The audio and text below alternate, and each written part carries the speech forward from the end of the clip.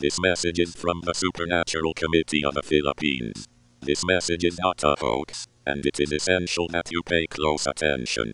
It concerns your immediate safety and security, and the security of your nation.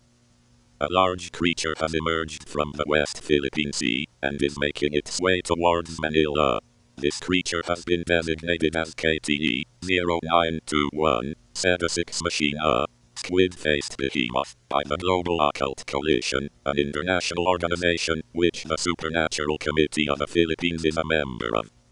This creature is hazardous to observe and unprotected, causing those who witness it directly to experience visual and auditory hallucinations, or become extremely violent towards those around them.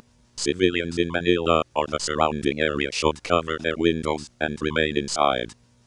The military forces of the Philippines are working alongside international organizations, such as the aforementioned Global Occult Coalition, and an organization named the SCP Foundation, to terminate the creature before it can reach the shore. Jets, missiles, and artillery are being used for this mission, and any civilians in the West Philippine Sea should immediately evacuate to shore to avoid the squid-faced behemoth and the explosive weaponry being used by the forces engaging it.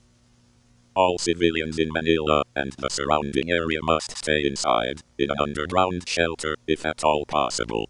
Local authorities, military authorities, and members of the GOC and SCP Foundation will guide you to various underground shelters, such as underground railway stations and bunkers. You will be advised when it is safe to return to the surface, and you will be processed by members of the SCP Foundation when you do so. Please do not resist this processing, as it is done to ensure your safety and the safety of the international community. The Supernatural Committee of the Philippines, SCP Foundation, and Global Occult Coalition thank you for your cooperation at this time. Stay safe, stay inside, and do not look at the entity.